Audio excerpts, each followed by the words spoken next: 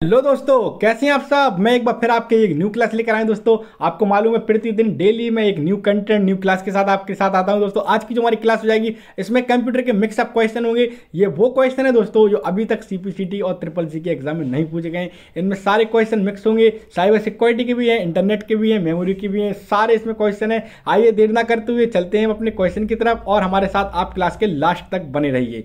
आज का जो हमारा पहला क्वेश्चन जैसे कि आप स्क्रीन पर देख रहे होंगे क्वेश्चन है हमारा साइबर लॉ में डीओएस का पूरा नाम क्या है? यानी साइबर लॉ में डॉस का पूरा नाम क्या है? तो साइबर लॉ में डॉस का पूरा नाम क्या होता है? डिनायल ऑपरेटिंग सिस्टम क्या होता है? डिनायल ऑपरेटिंग सिस्टम डॉस का पूरा नाम होता है। क्या है इसमें साइबर लॉ में, ठीक है? और डॉस का फुल फॉर्म भी आप कमेंट बॉक्स में टाइप करके बताइए, ठीक है? बढ़ते हैं हम अपने अगले क्वेश्चन की तरफ़। जैसा कि आप अगला क्वेश्चन देख रहे होंगे पैकमैन नामक प्रसिद्ध कंप्यूटर किस काम के लिए बनाया गया है? देखिए, आप लोग क्लास को स्किप मत करिए, क्योंकि आप लोग क्या करते हैं क्लास को स्किप करते जाते हैं। तो मैं बीच बीच में जो आपको जानकारी क्वेश्चन के बारे में थोड़ी विस्तृत जानकारी देता हूँ, वो आप नहीं ले पाते हैं। आप लोग क्या करते हैं क्लास को नहीं तो स्किप कर देते हैं, नहीं तो फास्ट मूड पर लगा देते हैं, ठीक है? तो मैं उम्मीद करता हूँ आप लोग क्लास के मेरे साथ आखिर तक बने रहेंगे। तो क्वेश्चन दूसरा है पैकमैन नामक प्रसिद्ध कंप्यूटर किस काम के लिए बनाया गया था? तो पैकमैन नामक प्रसिद्ध कंप्यूटर खेल संबंधित के लिए बनाया गया था, ठीक है? देखते हैं, तीसरा क्वेश्चन क्या हो जाएगा? तीसरा जो हमारा क्वेश्चन हो जाएगा वह हो जाएगा माइक्रो प्रोसेसर कंप्यूटर किस पीढ़ी से संबंधित है?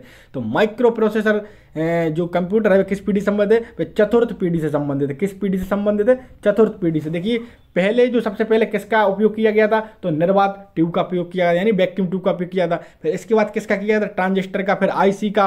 फिर इसके बाद चतुर्थ पीढ़ी में माइक्रो प्रोसेसर का यूज़ किया जाने लगा था। आपको उम्मीद है क्लास पसंद आएगी। और अगर आप हमारे चैनल पर नए हैं तो प्लीज़ चैनल को सब्सक्राइब कीजिए और बेल आइकन को ऑन कीजिए, ताकि जैसे ही क्लास में अपलोड करूँ, सबसे पहले क्लास का नोटिफिकेशन आपके पास पहुँच जाए। ठीक है? बढ़ते हैं हम अपने चौथे क्वेश्चन की तरफ़। चौथा क्वेश्चन जैसा कि आप स्क्रीन पर देख रहे होंगे क्वेश्चन है हमारा, वह मेमोरी जो सीपीयू से सीधे संपर्क में रहती है, वह कहलाती है। वह मेमोरी जो सीपीयू से सीधे संपर्क करती है, वह कहलाती है, वह ऑक्सीलरी मेमोरी कहलाती है। क्या कहलाती है? ऑक्सीलरी मेमोरी कहलाती है। हमारा बिल्कुल सही आंसर हो जाएगा दोस्तों, ठीक है? बढ़ते हैं हम अपने अगले क्वेश्चन की तरफ़। हमारा जो पांचवा क्वेश्चन हो जाएगा, वह हो जाएगा अपार्थनीय संदेश प्रणाली का दुरुपयोग करना कहलाता है। तो क्या हो जाएगा? स्पैम कहलाता है। क्या कहलाता है? स्पैम कहलाता है। तो छठवा जो हमारा क्वेश्चन हो जाएगा, वह हो जाएगा प्रिंटर के प्रकार निम्न है। तो आइए देखते हैं प्रिंटर के प्रकार को देखते हैं। जैसा कि आप स्क्रीन पर देख रहे होंगे, थोड़ा और जूम कर देता हूँ। मैं एक बार भी आपको एक क्लास में बता चुका हूँ, एक बार और आपको प्रिंटर के बारे में समझा देता हूँ अच्छे से, ठीक है? तो प्रिंटर को देखते हैं। प्रिंटर कितने प्रकार के होते हैं? सबसे पहले आप ये देख लीजिए। प्रिंटर दो प्रकार के होते हैं। कौन कौन से होते हैं? एक होता है हमारा इम्पैक्ट प्रिंटर एक होता है हमारा नॉन इम्पैक्ट प्रिंटर दो प्रिंटर हो गए। कौन कौन से? सबसे पहले क्वेश्चन आ जाएगा कि प्रिंटर कितने प्रकार के होते हैं? तो दोस्तों प्रिंटर दो प्रकार के होते हैं। कौन कौन से होते हैं? एक होता है हमारा इम्पैक्ट प्रिंटर एक होता है हमारा नॉन इम्पैक्ट प्रिंटर इतना आपको समझ में आ गया होगा। अब बढ़ते हैं आगे की तरफ़। अब इसके बाद क्वेश्चन इसके बाद क्या है ग्राफ में? इसके बाद ग्राफ में है कि इम्पैक्ट प्रिंटर कितने प्रकार के हैं? तो इम्पैक्ट प्रिंटर देखिए कितने प्रकार के हैं। दो प्रकार के होते हैं इम्पैक्ट प्रिंटर कौन कौन से होते हैं? एक आप देख रहे होंगे कैरेक्टर प्रिंटर एक हो जाएगा लाइन प्रिंटर ठीक है? अब इतना आपको समझ में आ गया होगा। अब कैरेक्टर प्रिंटर के अंदर देखिए कौन कौन से प्रिंटर होते हैं। एक होता है हमारा डॉट मैट्रिक्स प्रिंटर एक होता है हमारा डेजी व्हील प्रिंटर आपका क्लियर अब बढ़ते हैं अपने लाइन प्रिंटर की तरफ़। अब देखिए, लाइन प्रिंटर कितनी टाइप के होते हैं? लाइन प्रिंटर दो टाइप के होते हैं। एक होता है हमारा ड्रम प्रिंटर एक होता है हमारा चैन प्रिंटर अब ये साइड का आपका क्लियर हो गया ना? इम्पैक्ट प्रिंटर कितने प्रकार के होते हैं? तो इम्पैक्ट प्रिंटर दो प्रकार के होते हैं। कौन कौन से होते हैं?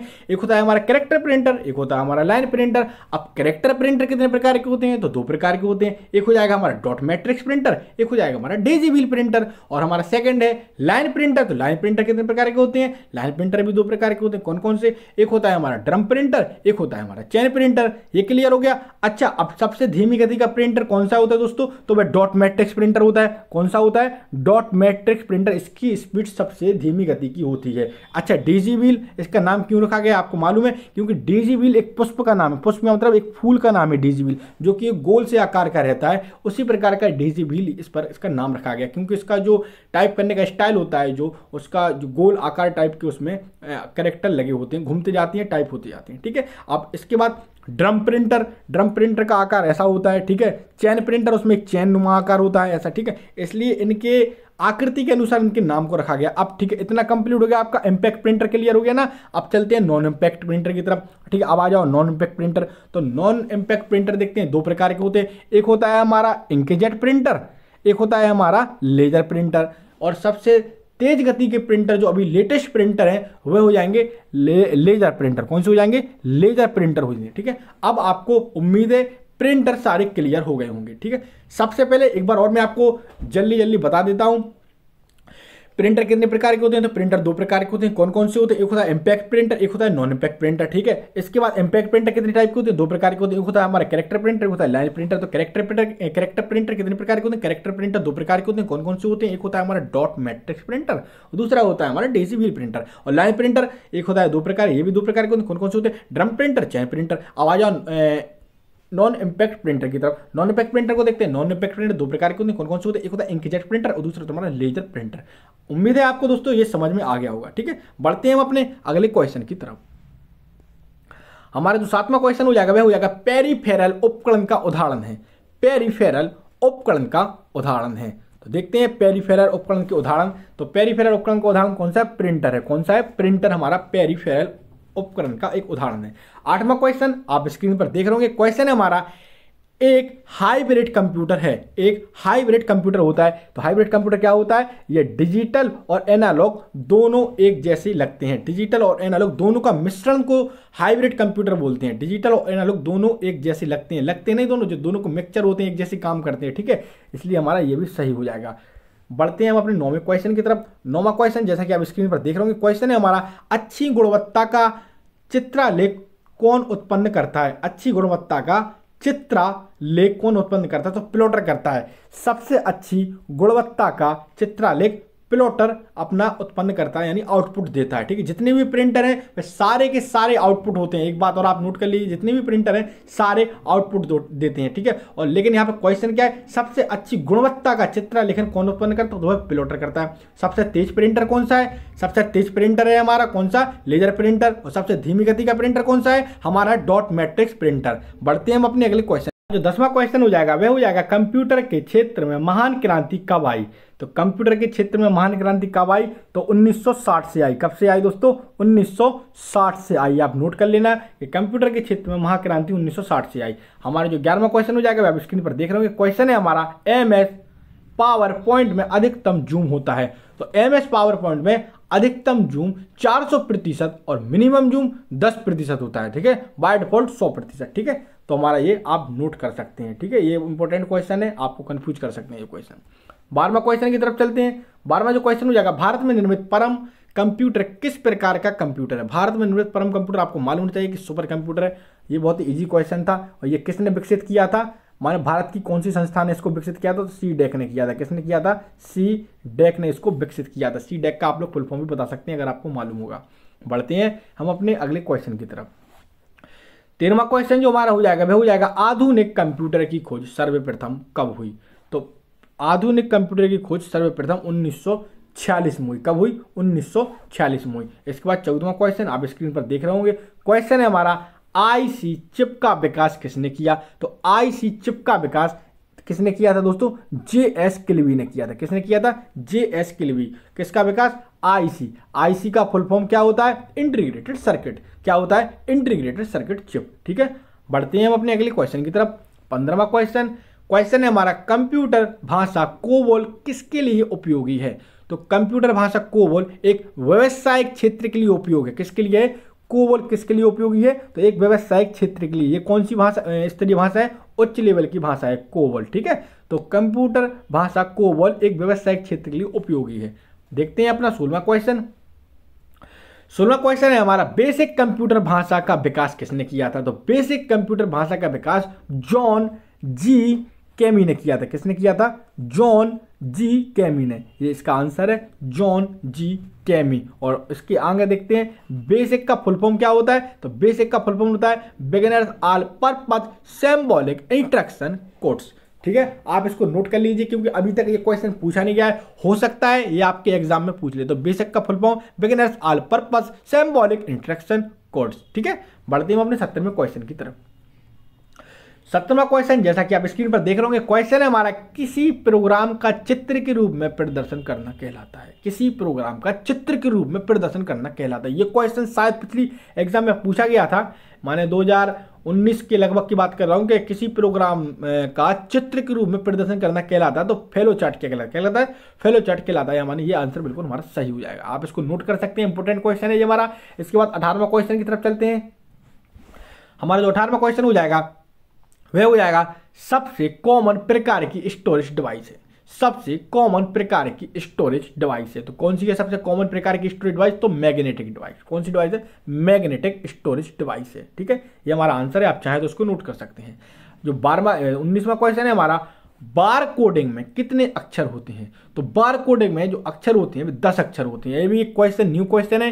पूछी जाने की इसकी संभावना बनती है, क्योंकि अभी तक ये क्वेश्चन पूछा नहीं गया है। क्या है क्वेश्चन बार कोडिंग जो होती है, मैंने आपको बताया है, बार कोडिंग में ऐसी ऐसी लाइनें जो खिंची होती हैं, उसमें अक्षर पूछे गए हैं तो कितने अक्षर होते हैं तो उसमें दस अक्षर होती है, ठीक है? बढ़ते हैं हम अपने बीसवें क्वेश्चन की तरफ़। जो बीसवा क्वेश्चन हो जाएगा, वह हो जाएगा ई भेजते समय संदेश की विषय सूची के बारे में प्रतिलिपि प्रदर्शित करती है।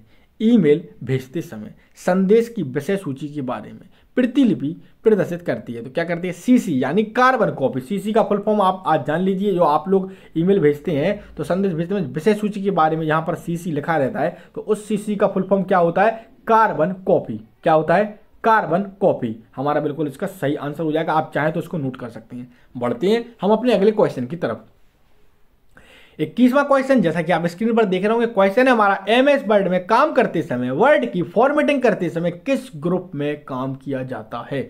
एम एस वर्ड में काम करते समय वर्ड काम करते समय वर्ड की फॉर्मेटिंग करते समय किस ग्रुप में काम किया जाता है? तो किस ग्रुप में काम किया जाता है? कैरेक्टर सेक्शंस पैराग्राफ्स उसमें किया जाता है? कैरेक्टर सेक्शंस पैराग्राफ ठीक है, ये हमारा आंसर हो जाएगा, चाहे तो आप इसको नोट भी कर सकते हैं। ठीक है दोस्तों, बढ़ते हैं हम अपने अगले क्वेश्चन की तरफ़। हमारा जो अगला हमारा जो बाईसवा क्वेश्चन हो जाएगा, वह हो जाएगा हमारा यू आर एल का फुल फॉर्म बताइए। U R L full form तो यू आर एल का फुल फॉर्म क्या होता है? यूनिफॉर्म रिसोर्स लोकेटर क्या होता है दोस्तों? यूनिफॉर्म रिसोर्स लोकेटर इसके बाद तेईसवा क्वेश्चन आप स्क्रीन पर वो भी देख रहे होंगे। तेईसवा क्वेश्चन है हमारा डॉस ऑपरेटिंग सिस्टम होता है। तो डॉस ऑपरेटिंग सिस्टम एक सिंगल यूज़र ऑपरेटिंग सिस्टम होता है। डॉस ऑपरेटिंग सिस्टम, एक सिंगल यूज़र ऑपरेटिंग सिस्टम होता है। इसके बाद चौबीसवा क्वेश्चन आप स्क्रीन पर देख रहे होंगे क्वेश्चन है हमारा, ट्रेड माइक्रो क्या है? ट्रेड माइक्रो क्या है? तो ट्रेड माइक्रो एक एंटीवायरस है। क्या है? एक एंटीवायरस है, बिल्कुल नया एंटीवायरस आप चाहें तो उसको नोट कर सकते हैं। ट्रेड माइक्रो क्या है? ट्रेड माइक्रो एक एंटीवायरस है। ये है हमारा आंसर ठीक है? बढ़ते हैं हम अपने अगले क्वेश्चन की तरफ़। जैसा कि आप देख रहे होंगे स्क्रीन पर हमारा जो पच्चीसवा क्वेश्चन हो जाएगा, वह हो जाएगा हमारा एप्लीकेशन सॉफ्टवेयर में फैलने वाले वायरस को क्या कहा जाता है? जो एप्लीकेशन सॉफ्टवेयर में फैलने वाले वायरस को क्या कहा जाता है? मैक्रो वायरस कहा जाता है। क्या कहा जाता है? इंपॉर्टेंट क्वेश्चन है प्रीवियस पेपर में आ चुका है क्वेश्चन एप्लीकेशन सॉफ्टवेयर में फैलने वाले वायरस को क्या कहा जाता है? मैक्रो वायरस कहा जाता है। आप इसको नोट कर लीजिए या इसका स्क्रीन ले लीजिए, ठीक है? बढ़ते हैं अपने छब्बीसवें क्वेश्चन की तरफ़। छब्बीसवा जो क्वेश्चन हो जाएगा, वह हो जाएगा एच टी एम एल भाषा के प्रोग्राम को रन करने के लिए सॉफ्टवेयर का प्रयोग होता है। एच टी एम एल भाषा के प्रोग्राम को रन करने के लिए सॉफ्टवेयर का प्रयोग होता है। तो किस सॉफ्टवेयर का प्रयोग होता है? वर्ड पैड का होता है। किसका होता है? वर्ड पैड का होता है। एच टी एम एल भाषा के प्रयोग को रन करने के लिए हमको किस सॉफ्टवेयर की ज़रूरत होती है? तो वर्ड पैड की होती है। बढ़ते हैं हम अपने। सत्ताईसवें क्वेश्चन की तरफ़। उम्मीद है दोस्तों क्लास आपको पसंद आ रही होगी और आप प्लीज़ क्लास के लास्ट तक बनी रहिए ताकि मैं आपको और भी जानकारी देता चलूँ। हमारा जो क्वेश्चन है सत्ताईसवा वह हो जाएगा सी प्लस प्लस प्रोग्राम को एग्जीक्यूट करने के लिए किस कमांड का प्रयोग करते हैं? सी प्लस प्लस प्रोग्राम को एग्जीक्यूट करने के लिए किस कमांड का प्रयोग करते हैं? तो कंट्रोल प्लस एफ़ नाइन का प्रयोग करते हैं। अट्ठाईसवा क्वेश्चन हो जाएगा हमारा। जब बहुत से कार्य कंप्यूटर को दिए जाते हैं और उनका प्रोसेसर एक एक करके उसे क्या कहा जाता है? एक एक करके अगर सोल्व करता है तो उसे क्या कहा जाता है? तो उसे बैच प्रोसेसर कहा जाता है। क्या कहा जाता है? बैच प्रोसेसर मूड कहा जाता है। जब कंप्यूटर को, जब कंप्यूटर से कार्य जब बहुत से कार्य कंप्यूटर को दिए जाते हैं और उनका प्रोसेसर एक एक करके होता है तो उसको कहा जाता है बैच प्रोसेस मूड क्या कहा जाता है? बैच प्रोसेसिंग मूड कहा जाता है। हमारा जो उनतीसवा क्वेश्चन हो जाएगा आप देख रहे होंगे। आईपी एड्रेस मुख्यतः कितने प्रकार के होते हैं? तो आईपी एड्रेस मुख्यतः दो प्रकार के होते हैं। कौन कौन से होते हैं? आईपीवी फोर और आईपीवी सिक्स होते हैं। ठीक है? अब आईपीवी फोर का आपको साइज़ बताना है, कितने बिट का होता है और आईपीवी सिक्स का भी आपको साइज़ बताना है। वे कमेंट बॉक्स में आप टाइप करके ज़रूर बताइए। हमारा जो तीसवा क्वेश्चन हो जाएगा, वह हो जाएगा प्रोसेसर की प्रोसेसिंग स्पीड मापने के लिए। खाली स्थान का उपयोग किया जाता है। जो प्रोसेसर की प्रोसेसिंग स्पीड को मापने के लिए क्लॉक स्पीड का उपयोग किया जाता है। किसका उपयोग किया जाता है? क्लॉक स्पीड का उपयोग किया जाता है। प्रोसेसर की प्रोसेसिंग स्पीड को मापने के लिए क्लॉक स्पीड का प्रयोग किया जाता है। इसके बाद इकतीसवां जो क्वेश्चन हो जाएगा, वह हो जाएगा आर का फुल फॉर्म बताना है। तो ओ सी आर का फुल फॉर्म क्या होता है? ऑप्टिकल कैरेक्टर रीडर क्या होता है? ऑप्टिकल कैरेक्टर रीडर इसके बाद बत्तीसवां क्वेश्चन आप स्क्रीन पर देख रहे हो क्वेश्चन हमारा, लगभग चालीस हज़ार माइक्रो कंप्यूटर जितनी कार्य करने वाले सुपर कंप्यूटर की गति को क्या कहते हैं? लगभग चालीस हज़ार माइक्रो कंप्यूटर जितनी कार्य करने वाले सुपर कंप्यूटर की गति को क्या कहते हैं? देखते हैं, इसका आंसर आप लोग नोट कर लीजिए इंपॉर्टेंट है। देखिए, इसका आंसर क्या है? मेगा फ्लॉप लगभग चालीस हज़ार माइक्रो कंप्यूटर जितनी कार्य करने की क्षमता रखने वाले सुपर कंप्यूटर की गति को मेगा फ्लॉप कहा जाता है। क्या कहा जाता है? मेगा फ्लॉप कहा जाता है। सुपर कंप्यूटर अत्याधुनिक तकनीकों से लेस और बड़े बड़े परिकलन करने के साथ अति सूक्ष्म गणनाएँ तीव्र गति से कर सकती हैं। इसका आंसर है, चाहे तो आप इसका स्क्रीनशॉट भी ले सकते हैं।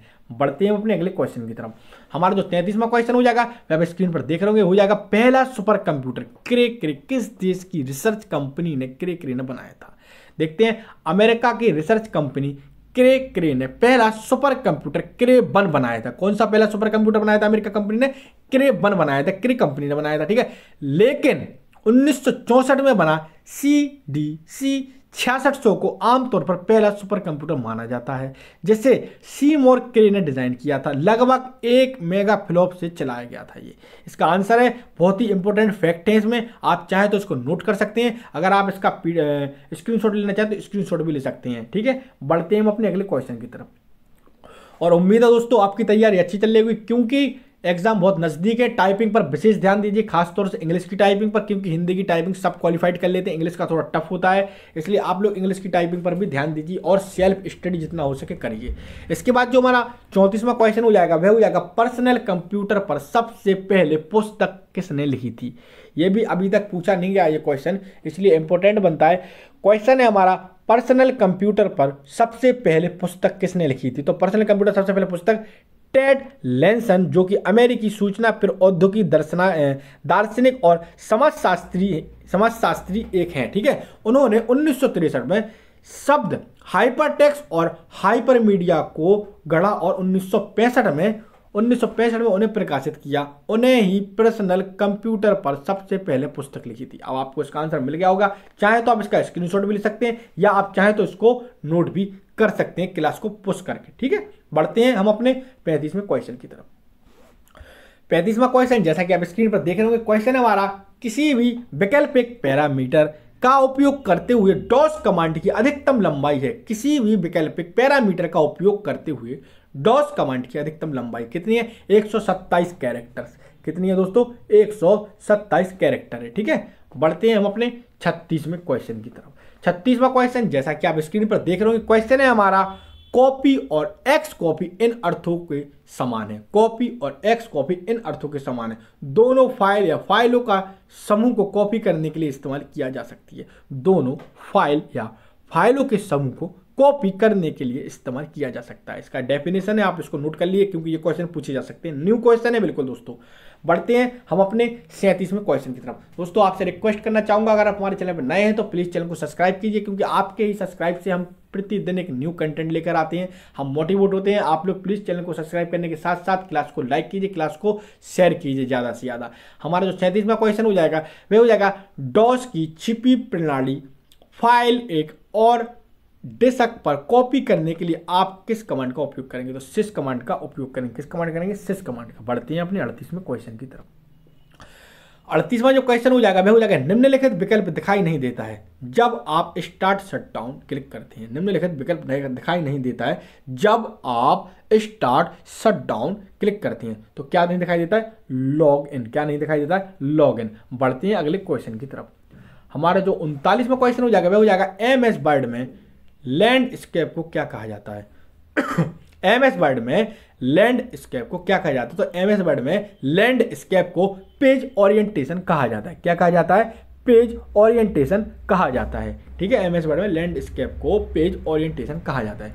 देखते हैं अपना आज का लास्ट क्वेश्चन। हमारा जो आज का लास्ट क्वेश्चन हो जाएगा, वह हो जाएगा एम एस एक्सएल 2007 में मल्टीपल सीटों से एक सीट में डेटा को संयोजित, संक्षिप्त और संसारित करने के अनेक, करने को किस रूप में जाना जाता है? तो कंसोलेंडेंसी किसमें जाना जाता है? कंसोलिडेंसिंग ठीक है? ये हमारा इसका आंसर हो जाएगा। आप चाहें तो इसका स्क्रीनशॉट भी ले सकते हैं। दोस्तों, उम्मीद है आपको क्लास पसंद आई होगी और प्रतिदिन आपके लिए मैं न्यू क्लास लेकर आता हूँ। जब तक एग्ज़ाम नहीं हो जाता है, इसी तरह आपको मिक्स क्वेश्चन लाऊँगा ताकि अब आपकी तैयारी का आपको आकलन होता चले। ये क्वेश्चन जो मैं आपके लिए लाता हूँ, आप लोग इसमें से देखिए आपको कितने क्वेश्चन बन रहे हैं कौन सा आपका इसमें से चैप्टर छूटा हुआ है, उसको आप कंप्लीट करिए। जो समझ में ना आए, आप कमेंट बॉक्स में टाइप करके मुझसे पूछिए, मैं आपकी हर क्वेश्चन का आंसर देने के लिए तैयार हूँ रेडी हूँ। बस आपसे एक शर्त है, आप लोग सेल्फ स्टडी पर भी ध्यान दीजिए, ताकि आपका एक ही बार में सी सीबीसीडी क्वालिफाइड हो जाए। आज जो स्टूडेंट नर्वस हैं, जिनको समझ में नहीं आ रहा है, तैयारी कैसे करें, वो भी मुझसे कमेंट बॉक्स में टाइप करके क्वेश्चन पूछ सकते हैं, मैं उनको समझाऊँगा, ठीक है?